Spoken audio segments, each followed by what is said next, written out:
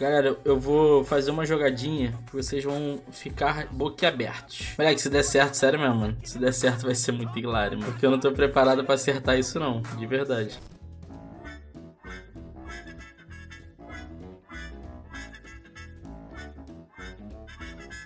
Acertei! Acertei!